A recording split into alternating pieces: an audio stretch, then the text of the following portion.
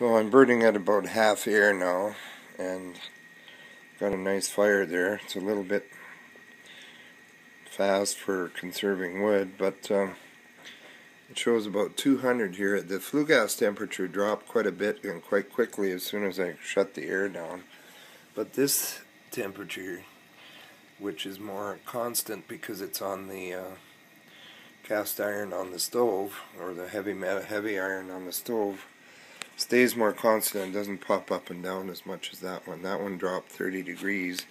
This one actually increased a bit and when I shut the air down so that means the stove is heating better and uh, I guess the flue gas is less because the uh, stove's already hot that's my my take on it anyway now this is important to have something like this though on an insert because you don't know when you're overfiring and you can overfire a lot quicker than um, than this will show.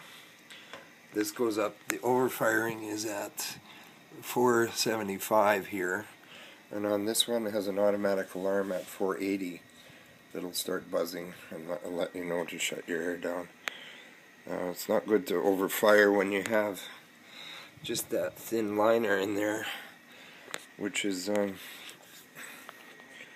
um, quite susceptible to to burning. Even though it's it's tested at a 700 degree fire three of them in a row it, it can still damage the liner when you overfire. So it's good to keep it at under 480 or under here it says under 475 and it says you're wasting fuel after that. Under this 120 or under this 230 it's um, creosote producing